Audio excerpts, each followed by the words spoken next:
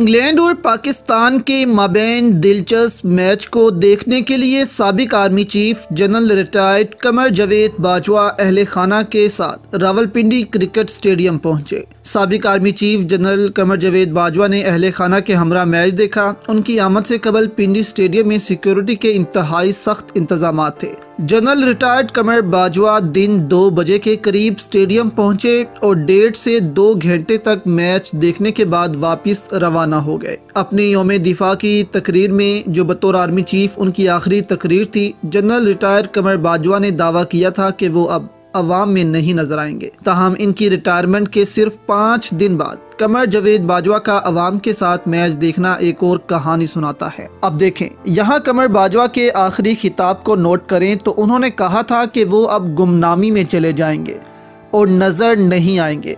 इसके बाद नजम सेठी की जानब से एक खबर चलाई गई कि कमर बाजवा पीटीआई के सपोर्टर्स की वजह से खौफ में हैं और वो अब सड़कों पर नहीं निकल सकते। यानी कि जैसे पाकिस्तानी नवाज़ शरीफ के साथ करते हैं, वैसे ही कहीं उनके साथ ना हो जाए। लेकिन यहाँ इस तासुर को ख़त्म करने के लिए वो पाकिस्तान इंग्लैंड का मैच देखने आ गए। ताकि ये बताया जाए कि उनको किसी किस्म का कोई खौफ नहीं है।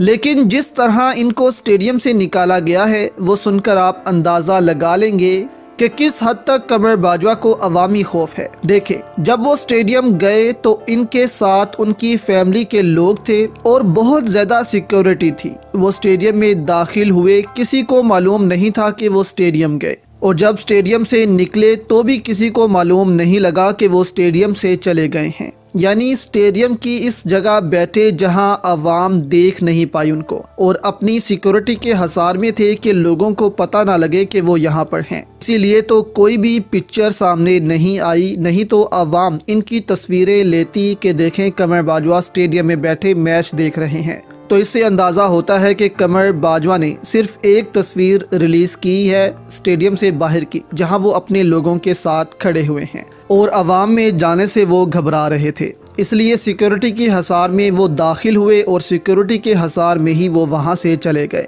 आपकी दोस्तों, इस पर क्या राय है? हमें नीचे कमेंट्स में ज़रूर बताइएगा।